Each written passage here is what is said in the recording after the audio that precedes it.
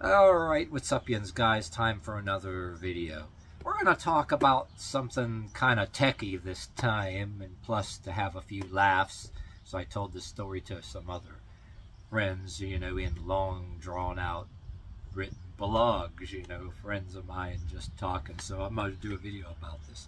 And this is also to feature, too, you know, for talk some tech with uh, friends, have a few laughs, and at the same time have a few laughs with maybe my haters and lurkers, show you what I can, that I can get things now that, uh, that my haters and lurkers can't afford, and in the meantime, they're living in a room in their parents' house and, uh, wondering from day to day where the, their next bag of weed is coming from. And meanwhile, I just, you know, uh, whip out playing cards and buying stuff like this. I just love this. I'm going to have a few laughs and show you this too at the same time because everybody watching this may have been there. You get yourself something you start out with. You want to get something just because of what you want to accomplish. And I'm saying this compared to when I built a computer many years ago. And shit, that time goes fast. And anyway, whether it's stereo equipment or computer equipment, you want to get something like a video card and especially online now these days. You know, I unlike you know getting at Best Buy and or whatever stores that were around Circuit City back in my day or whatever. Oh, but now online, it's even you can get pulled in way more this way. I mean, even comedians on TV, both black and white, talked about this. All right, you shop it online, or maybe back in the days in the store, and then you figure, okay, you're going to get this to achieve what you want. And then you're like, for a few dollars more, you all right? You can almost uh, bring Clint Eastwood into it. Like, say, if Clint Eastwood was going to go go uh, get buy something techie like a video card or stereo or something, walk in with a fistful of dollars or an online thing with a fistful of dollars, and then you're looking, okay, you want something to just do this or that, and then walk in with a fistful of dollars, and then oh wow, for a few dollars more, I can get this, and for a few dollars more, and then you're kind of settling on something, almost settling on something, and then you're uh, looking at the good, the bad, and the ugly. You know what I mean? The pros and cons to getting this or that. So, in my case, I have this computer that I like already. I like the tower I'm in, and I don't want. I like the tower that I have, and I don't want to really go get another, uh, you know, tower.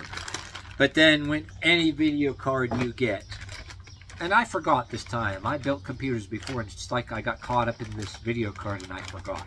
Duh. I'm waiting for a new uh, upgraded power source to come because you damn near, you pretty much always got to buy a new power supply that has an extra plug-in. And you have to have a minimum wattage that the computer you currently have doesn't got. But in the past, I have had a bigger empty tower that my brother, I got off of my brother one time, you know, and then I literally bought a whole motherboard and video card back then. And now you got the video cards and the motherboards, they're capable, compared to a few years ago, to handle more RAM than they do now, and the video cards too. But anyway, check out this beauty. And I was all excited, ready to put it in, and I'm like, ah, oh, fuck.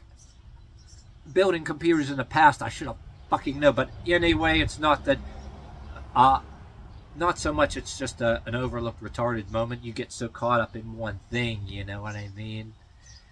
And you're like, oh, god damn it, I should have known. Because when I built computers, literally a whole motherboard in a tower in the past, you automatically, you buy one of these, you damn near pretty much always got to get an upgraded power source with a minimum wattage. And the reason being also, see the little thing, you could have a pluggy thing that has one of these in it. And if you think you can use the power source you currently have, say you're upgrading the cur current computer you have, you know, without just getting a tower home, and you think you can get a pluggy thing adapter plug into your power source that's for this, if it ain't the minimum the minimum wattage required, not gonna happen. That damn thing will turn itself off or whatever they have. But anyway, I'm like, I look at the cords of my power source and I'm like, feel like an idiot at first. Well, I'm not that stupid. It's just like, well, you know, you're all excited, like, because what I already said before. I'm, but the beginning of the story really was okay. Did I just should have told you in the beginning of this video? I kind of, uh, you know how flat screen monitors they don't last forever. The backlight goes out on them. The color starts getting funny. And then eventually, when you reboot, you boot the computer, you try to reboot the monitor. You're like, what the hell? The monitor turning weird colors and turning itself off. You hit the power button, it tries to turn on again. You know, the backlight dying, it goes kind of funny colors. Time to replace that monitor. I mean, I had that happen uh, years ago too. Like a monitor, flat screen monitor I bought brand new. It dumb fucker only lasted a year. It should have lasted longer than that. You know, bought online. But anyway, yeah don't want to tell a whole story about that. But anyway, the reason I wanted to, I was saying this too, to get a video card, is instead of buying a new monitor, I says, well, uh, before I plan to buy a video card, I figure, you know, like years ago, I had a 32-inch Sony TV, and there's usually a plug in the back for a two-ended VGA cord. Instead of having a monitor on your computer, you can your TV could be the monitor. I had that. Played my games in it. But then me and the partner really, we bought this brand new TV like about a year ago. It doesn't have one of those. And, you know, we overlooked that. I never thought I'd be doing that. But I thought, quite recently, I bought this video card. So the reason why I bought the video card, yeah, we got HDMIs in the back of this new TV. You don't have that VGA thingy. I got a two-ended VGA cord, you know, back of the monitor. The back that would go back of the computer, but the other end would go in the back of a monitor. But if you had TVs that go, this TV doesn't have that. We bought it brand new. We didn't realize that. So I realized I could go do it with HDMI. But, you know, my computer didn't have the HDMI when the TV does, right? So, hey, your new video cards have HDMI in it. You know, I run to the TV with HDMI, and while I'm at it, I can play my games better. So, uh, anyway, you know, which led to the story I just told you. By the video card, I got to realize I had to use the video card. I had a goddamn. Uh, I was like, God damn it! I should have knew in the first place when I ordered the video card. Went ahead and bought a new power supply. It got so caught up in looking at these drooling over them. And I forgot. Yeah. Still, that I'm, a, I'm capable of building computers like I did in the past. I, you, it's still, you're able to get caught up in a thing and then totally forget that. But, and then the other thing I, of course, run into, which I got to deal with too, I like my tower that I have. I don't want to upgrade and get a slightly bigger tower, but even with a smaller video card like this, let's say if it's this much smaller, this tower, the way they put the goddamn, um, it wasn't a problem before, but the way where they put the goddamn hard drive bay, you wouldn't believe it, like the where they used to put them. They got it kind of like down here, right where, okay, say I had the video card in here. The hard drive thing is down here, and you know, this much, this thing is this much longer. Even if I had a way cheaper video card, which maybe is so much smaller, it still wouldn't fucking fit. But it wouldn't. It would have fit the way they used to put the hard drive bays.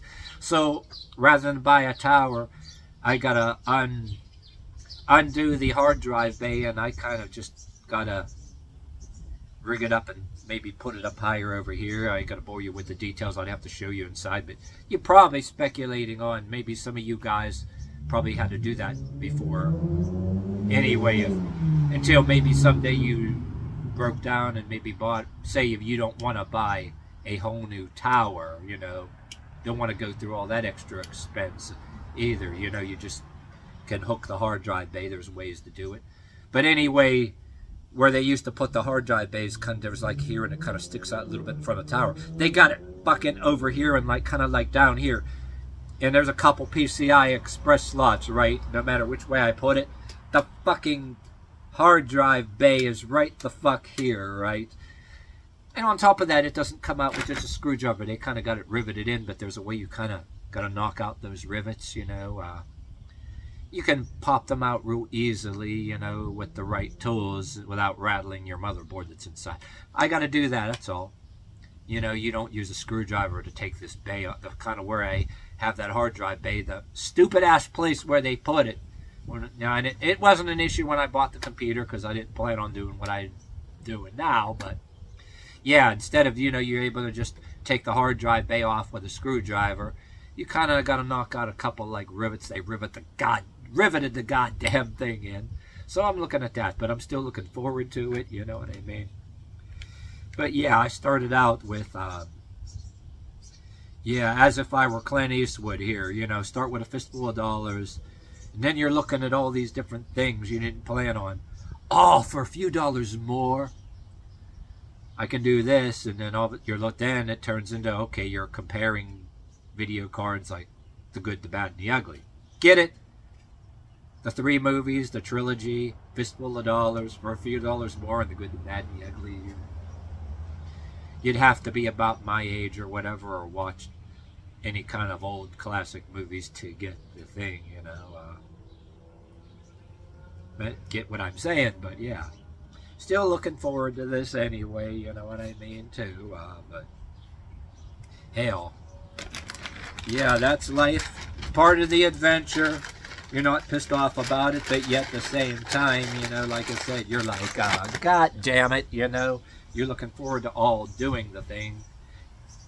Can't say that enough, even though you know what you're doing and you've even put a whole, put together a whole computers for people in the past when you're doing something of your own, you can you can be somebody better at that shit than me, and then oh, you're getting caught up, focused on one thing. Oh my god, I gotta have this, and for a few dollars more, and then you have a retarded moment. You're so caught up in the thing, and fuck, I gotta buy a new power supply.